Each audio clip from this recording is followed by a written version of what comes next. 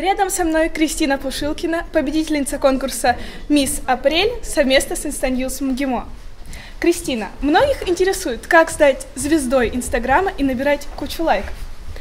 Ну, может быть, это вопрос, конечно, не совсем ко мне, но вообще Остин Клен в одной из своих книг писал, что э, нужно просто делать то, что тебе нравится, делиться с этим с людьми, и тогда найдутся те, кто тоже будет получать удовольствие от того, что ты делаешь. Говорят, что очень часто девушки приходят на факультет МЖ в МГИМО, чтобы найти себе мужа.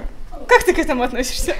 Ну, собственно, это тоже не про меня, потому что мы с моим молодым человеком поступили вместе из одного маленького города, он тоже учится в МГИМО, и мы вместе уже 7 лет, поэтому ну, mm-hmm. я приехала со своим.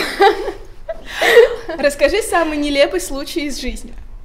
Ну, может быть, не самый нелепый, конечно, но если говорить о тех, что связаны с учебой здесь, то э, одним зимним утром, из-за того, что было очень темно на улице, я немного перепутала время и едва не вышла в институт в 5 утра. Бывает. А, итак, скоро лето, нужно держать себя в хорошей форме.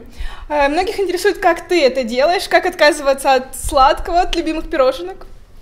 Вообще вопрос, да, очень актуальный, и мне просто кажется, что нужно э, понять, что вот та самая строгость и аскетичность — это не э, те факторы, которые сковывают твою свободу, а наоборот ее даруют, когда ты контролируешь еду.